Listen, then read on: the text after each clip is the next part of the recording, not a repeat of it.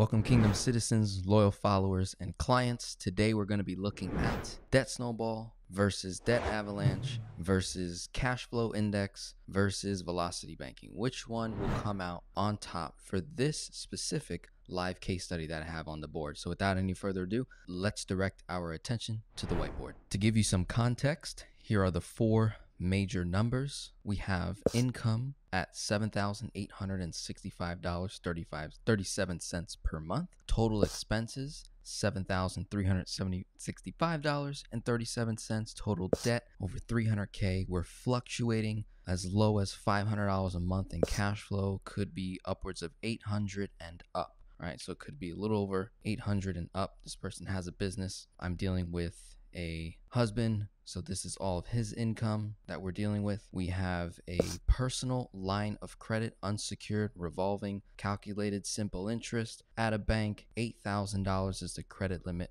14% is the interest rate.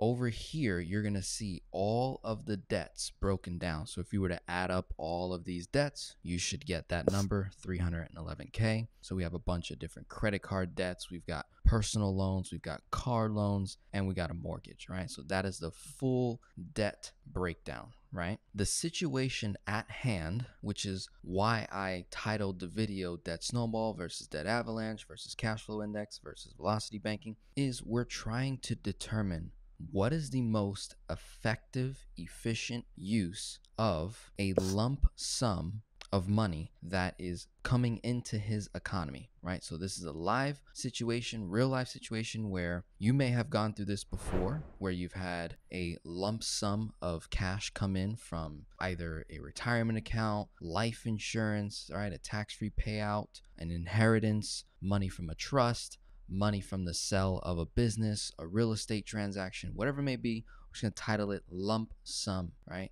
And a lot of you might be struggling with okay, what do I do with this money? How do I break it down? Do I throw X amount towards debt? Okay, then how much? And then which debts do I throw at, right? So we're going to figure that out based on the most popular debt elimination strategies. Now, one of those strategies, cash flow index, is something that is still new to me but I've technically been doing it without even knowing for the longest period of time. And the reason why I know it is because of the results that I've been getting and how it's been matching. So, in this video, I'm going to explain cash flow index simply because I've never really taught it on my YouTube channel to you guys. And I think the cash flow index formula is going to be a phenomenal addition for those of you who are practicing the velocity banking and or infinite banking concept to eliminate debt, offset interest. So, cash flow index formula is simply taking the loan balance, however much you owe on a debt, and dividing it by the number, by the uh, minimum monthly required payment on that debt, right? So, if you have a $10,000 debt and it's costing you $100 a month, you would take 10,000 divided by the 100, you're going to get a number. If that number is below 50, then that is going to be a very effective debt to go after. If it is above 50, we may want to put it on the back end, leave it alone, right? Or pay that off last, right? So the cash flow index is ignoring the interest rate on a debt. It is simply focusing on cash flow recovery, which blew my mind because I'm like, oh, wait a minute in velocity banking, that's our primary concern is usually cash flow first, interest cost, interest rate second, and then balance third. In the debt snowball strategy, it's balance first. Whatever the lowest balance is, regardless of the monthly payment, regardless of the interest rate, that's the one you tackle first, right? And then you work your way up. Debt avalanche is regardless of whatever the balance owed is, regardless of whatever the monthly payment is, you're focusing on the interest rate. Whatever the highest interest rate debt you have, that's the one you tackle first, and then you keep going, right? So if you have a 29%, 25%, 22%, 18, 17, all the way down, you would go in that that order. So we're going to be breaking that all of that down in this video, give you the numbers and I want you to hold me accountable. I want you to run the numbers, right? Take the video slowly, pause it where you have to, write the numbers out, all of that. Let's have some fun. Let's direct our attention back to the board. So, four major numbers. We have our debt tool. We have $36,500 coming into our economy, new money. This is money that's already been taxed, so we don't have to set aside money for taxes. It's just 36.5 straight up in 2023 coming to us. I have a personal rule that my client is going to implement. Of the 36,500, I personally whenever I get a lump sum of money, I take 10 to 20% off the top out of my economy in the form of saving and giving. So I save 10%, give 10%, right? Just boom, act like I don't even have it. So that number would be anywhere based off 36,500 would be anywhere between 30,650 and 7,300. Okay. Together, this client and I, we came up with a number. We settled around 29,500 is the number that we're going to use to eliminate debt. Okay. The financial goal of the client, not Denzel, not any other guru, not any other, you know, influencer's advice on what to do with your finances. The goal of the client is wants to eliminate debt. Denzel, I want to eliminate debt. That is their goal. That is what we're going to solve for based on the 29.5. In addition, we want to rebuild credit and they want to apply for a HELOC simply because they can get a much higher credit limit and a lower interest rate based on the current debt tool that they have, right? So that is the context. Here's the debt breakdown. I have the name of the debt, like what it is. This is what's owed. These are the monthly payments. These are the interest rates on the debt. Whenever you see a debt that doesn't have an interest rate, means that there the means that the interest is already built into the balance itself. So there's no added on interest. It's just 300 every time a payment goes, it'll bring down that 1752.86 by $300, right? So, over here is the breakdown based on each debt elimination strategy in terms of which ones we're going to pay off first, right? According to the strategy. So cash flow index, I I numbered each debt, right? So starting with, you know, 1 being here, go all the way down and then you'll end up over here, right? So one, two, three, four, five, six, right? All the way to like, I think there's 20 or so debts on here. There's a lot of debts on here, right? So according to the cash flow index, these are the debts that you would pay off. According to Debt Snowball, these are the debts that you would pay off, right? And I went in order by least debt to greatest debt. So according to Debt Snowball, we're going to start with Debt Snowball being the first strategy that we would map out. Reason why I do that and you guys, most of you guys know this who are clients, followers of mine for a while, is we're using debt Snowball as our measurement stick. It is the easiest, simplest debt elimination strategy in the marketplace today. Debt snowball. You're just simply ignoring the interest rate. You're ignoring the monthly payment. You're just looking at the balance. It's a good way to kind of formulate and, and write out all your debts, just like I did here, smallest to greatest, so you can see what you're working with, right? Not not bad at all. So what we're doing is 29,500 is our number. So what we're trying to figure out is the how much debt can I eliminate, right? With the 29,500, the result being what would be the most amount of cash flow that I would recover. Whoever recovers the most amount of cash flow wins, right? If that's how you would measure all the different debt elimination strategies out there, that's how you want to measure it is which one gets us the most cash flow for our dollar right 29500 if you were to do debt snowball we would be able to pay off a total of 13 debts right so from 1 all the way down to 13 so every debt on this aisle right here in this column everything would get paid off if you were to add up all the numbers, you should get $26,384.28. Okay, if you're wondering, hey, shouldn't you use the whole 29.5? Yes, absolutely, but we can't use 29.5 and pay off the next debt, right? So if we're at 26,384.28, the next smallest debt would be this one right here, the 4,599.44, right? So what I wrote over here is the amount of money that would be left over, 3,115.72. So in simple terms here, that 3000 would get applied here, but there isn't a cash flow recovery. Does that make sense? So we're not going to count it, but just know that that's what you would do. If you were doing debt snowball, you'd be able to pay off 13 debts, and then what's left over would get applied towards the next smallest debt plus whatever cash flow you have on hand. Boom. But we're not going to count that because it would breach 29,500. So it would be over that amount. Okay. Moving along to debt snowball, uh, debt avalanche. I'm sorry. If you were to do debt avalanche, that's another measurement stick. You're looking at the highest interest rate. So you're going to ignore all of these numbers, right? You're just looking at interest rates, interest rates, interest rates. Okay.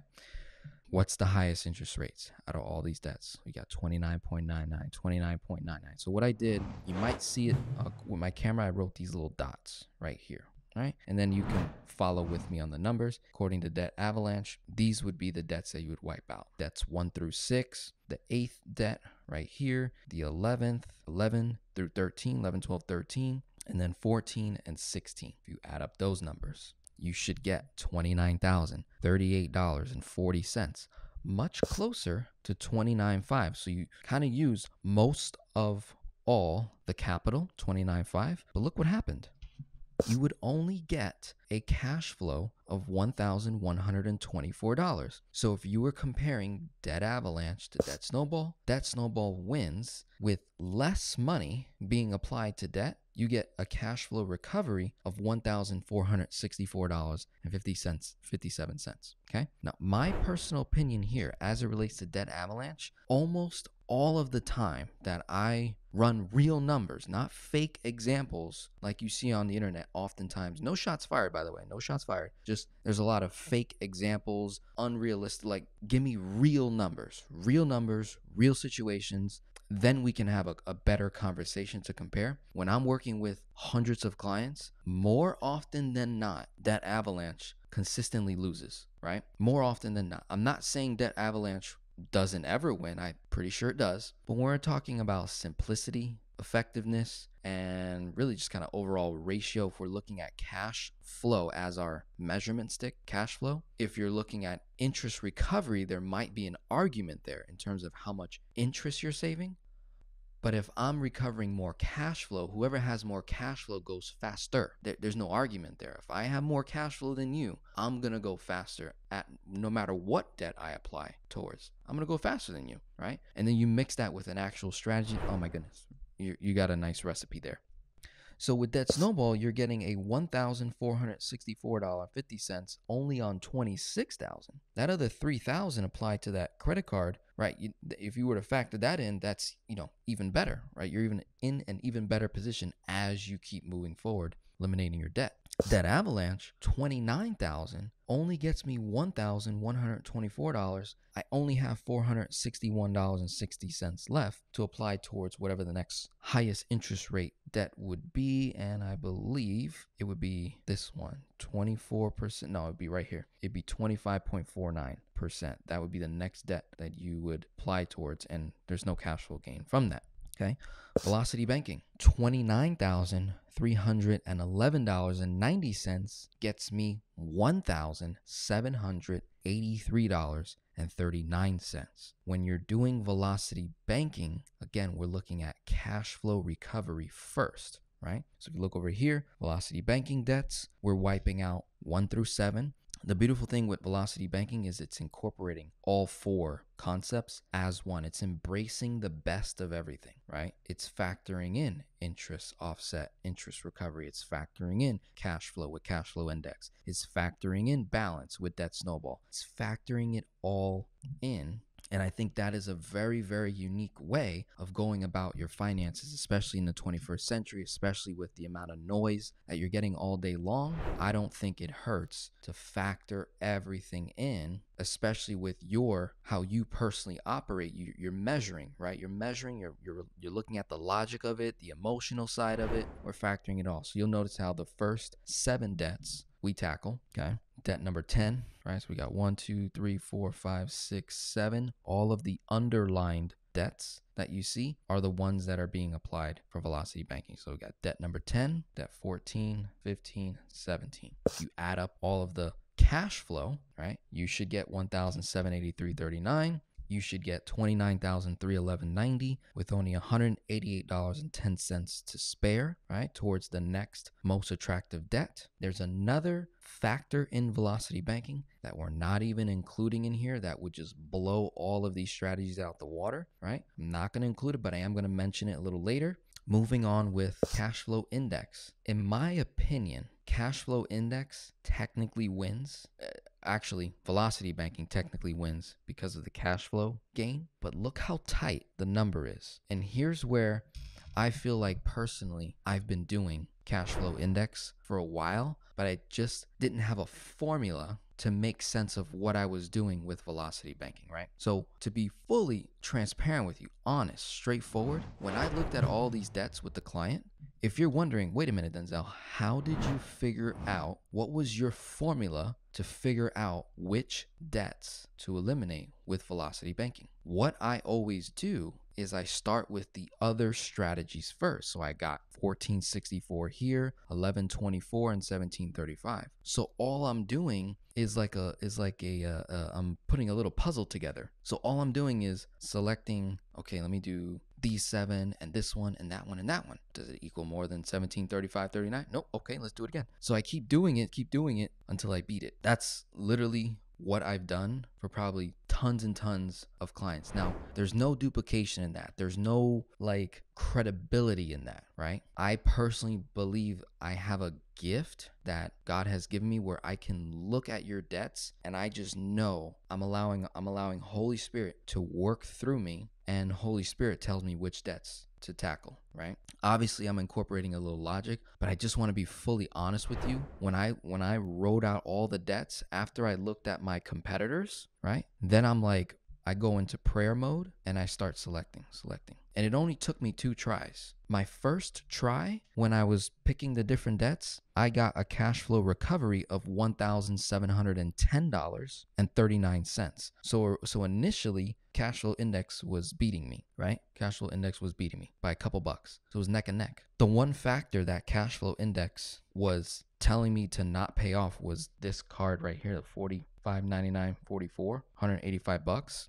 Originally, I was going to pay off this debt right here, 3,246, right? So I was originally here, right? So let me pull the calculator out real quick so you can see this. 29,500 minus 27,000, let me see, 27,958, 27,958 point uh, 46 cents. Okay. This is where I was. 27,958.46 gave me a cash flow recovery of 1,710 bucks and some change. What I did was I said, okay, let me take this was spirit led. So I was just looking through everything. I just took a guess. Boom. I took this one off. So this one I had originally paying off. So I'd minus it. Three, two, four, six. Boom. Then I added that one. Four, five, nine, nine 44 got me to 29 311.90 which gave me that higher cash flow. I was able to beat cash flow index. Now again that's not duplicatable. That's that's gift skills talents that's relying on holy spirit that's relying on other factors that simply don't make logical sense to the average viewer which is where cash flow index is going to be a key tool that i'm going to start implementing right? So here's how uh, cash flow index would work right? And i'm going to take my notes here and we're going to go one by one just so you can understand. I'll do an example so you can see how you would go about doing it with each and every one of these debts, right? So you would take, starting with the smallest one, you would take 280, 57, and divide it by the monthly payment. You're gonna get seven, okay? If you kept doing that for every single debt, according to the cash flow index formula, whichever one has the lowest number below 50, that's the one you'd pay off. So according to cash flow index, we have to pay off number one first, then number 2, right? And so I went in I went in order, right, of which debts to hit first, but looking at my notes here, it would be 7, and debt number one, two, three, four, five, six, seven, eight, nine, ten. Debt number 10 on here would be has a cash flow index of 12, right? So you just keep doing that over and over and over again. You write out all the numbers. Okay, this one got a 7, this one got an 18, this one got a, a 21, this one got a 30, this one, ha- you know, a mortgage has over a 100. So it's not a cash it's not a, a, a cash flow that you want to go after because it's going to take too long right? You wouldn't pay your mortgage off first when you have all these other debts. That doesn't that, that wouldn't be efficient wouldn't make sense it would just be flat out wrong right? It's okay to be wrong so that you can know how to pivot and go in the right direction. There has to be a wrong way there has to be a right way right? Has to be right? So when you apply logic, the human error factor, we're putting all these things together, we're really able to get some good results here. I really enjoyed this. So these are the different options here. As you can see, velocity banking does win, but not by much, right? An argument could be made where cash flow index could potentially beat velocity banking. I honestly think velocity banking and cash flow index should come together. And that's what I'm going to be teaching on this channel. That's what I'm going to be sharing a little bit more, much more now, is talking about cash flow index because I think it's a formula that all of my clients, existing and new clients coming in, as well as loyal followers, we could be using cash flow index, especially for a situation like this when you're dealing with a lump sum of cash, big bonus payout, inheritance, whatever it is. You're like, okay, how do I best apply these funds? Right. With that being said, here is the last little feature with velocity banking that blows everything out the water, right? So we know that if we apply $29,311.90, we get the highest cash flow recovery. We got $188.10 left over. The next debt that we would hit would actually be the PLOC, right? We would dump. So simultaneously, we're eliminating a bunch of debts like all the other strategies do, but we're getting the most amount of cash flow. And to make it even sweeter, we're going to recapture that 240 immediately, simultaneously paying down the debt, increasing the cash flow, and then redeploying that PLOC to the next debt that we want to hit because we're no longer dealing with any more capital available. Okay. Now, the money that we saved 10 to 20%. In this case, they're going to do, uh, I think it's like seven grand that they're going to save. That's the case. Let's say they saved $7,000, right? Just save, not, not give anything, just save seven grand. That 7,000 could get parked in their personal line of credit. With the other strategies, you can't do that, right? Not allowed to do that. You have to save the money in a savings account. In the velocity banking world, we're more than comfortable with parking our savings instead of in a savings account. We park it in a PLOC because we we recognize how a PLOC can function just like a savings can function just like a checking account. And with this person wanting to apply for a HELOC, it would make perfect sense for them to simply park their savings in the PLOC, make their credit look even better. We get the 240, we apply the 188 towards the PLOC his incoming cash flow towards the PLOC, that thing is done, zeroed out. So we get 240. That puts us even further ahead of everyone else, right? Then on top of that, we could redeploy the funds of the 8K again towards the next most attractive debt that we'd want to go after, doing the same thing, right? So once we eliminate certain amount of debts on the board, then we'll have just a few left. I'll do an updated video once the person actually does what we're mapping out here I'm recording this video in February of 2023. So the, the client is receiving the money in February 2023. They'll pay off the debts that we went over here using velocity banking and cash flow index formula, paying off those debts. They'll do velocity banking. I'll do an update video. Here's where we're at. Here's what's happened. And I, I'm just so excited to see what happens. So if you like this video, give it a thumbs up Comment below what you've been doing to eliminate debt. That snowball, debt avalanche, cash flow index formula, velocity banking, or more than likely, if you're a client of mine, we're doing a mix of everything. We're bringing it all together because it doesn't hurt, right?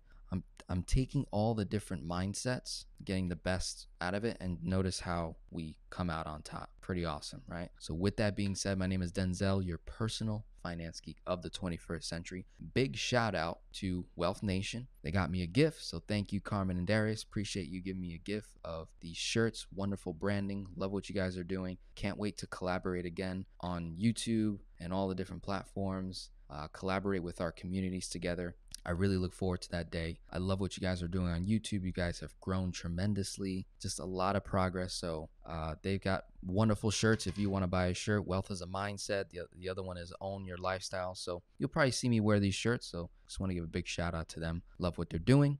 For those of you who want me to run your numbers on the whiteboard, just like this, you want to become a client of mine, click the link below in the description. I've got all different types of financial services and programs that you can invest in, pay for, and we get to work. Let's say you're zero cash flow. Let's say you're negative cash flow. Let's say you're in a tough financial situation. You simply cannot afford anyone in the marketplace. That's not an excuse. I have a church, I have a ministry of finance called the Finance Geek Ministry. You can sign up below as well. You'll see it. Finance Geek Ministry. You register for that, you can actually earn free one to one coaching with me by exchanging your social currency rather than your financial currency.